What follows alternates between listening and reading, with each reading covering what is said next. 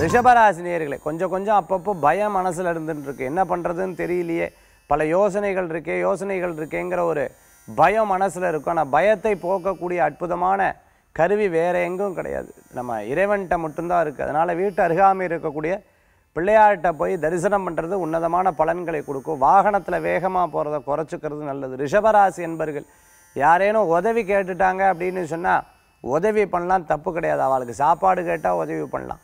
ஆனால் காசுன்னு வரும்போது பார்த்துட்டிங்கன்னா எடுத்து உதவி பண்ணிவிட்டோம் திருப்பி நமக்கு கொடுக்கலைன்னா அப்போ நம்மளே கஷ்டத்தில் இருக்கும்போது அவளுக்கு உதவி செய்கிறது தப்பு கிடையாது. இருந்தினும் பண விஷயத்தில் கொஞ்சம் கவனம் என்பது பெரியவங்களாக இருக்கும்பொழுது அந்த பெரியவங்களுக்கு ஏதேனும் உதவி செஞ்சோம்னா அது நல்ல பலன்களை கொடுக்கும். வயசானவா முடியாதவா இவங்களுக்கெல்லாம் உதவி செய்யுது ரொம்ப நாளாக தீராத நோய் இருந்துகிட்ருக்கு மாத்திரை சாப்பிட்டுக்கிட்டே இருக்கேன்.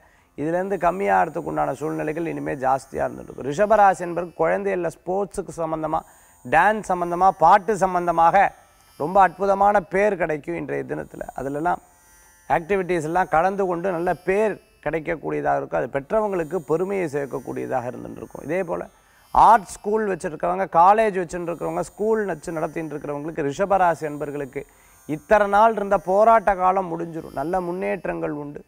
மாற்றங்கள் உண்டு. வெளியில் நல்ல பிரபல்யமாகக்கூடிய சூழ்நிலைகள் வரும். ரிஷபராசி என்பர்களுக்கு உண்டான அதிர்ஷ்ட என ஆறு நிறம் வெண்மை. வழிபாட்டுக்குண்டான தெய்வம் திருப்பதி வேங்கடநாத சுவாமி வழிபாடு அமோக பலன்களை தரும் அற்புத வழிபாடு ரிஷபராசி அன்பர்கள்.